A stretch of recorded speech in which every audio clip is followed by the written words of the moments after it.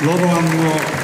trasformato un grandissimo dolore, un dolore drammatico in una grande emozione positiva e si sono impegnate per testimoniare, testimoniare la volontà di una città che vuole cambiare. Ecco, Eccellenza, queste sono due donne che hanno dimostrato che la città non vuole lasciarsi cadere le braccia, sono due donne che hanno dimostrato che la città vuole guardare avanti, vuole guardare in prospettiva e sa dire no a ogni forma di sopraffazione.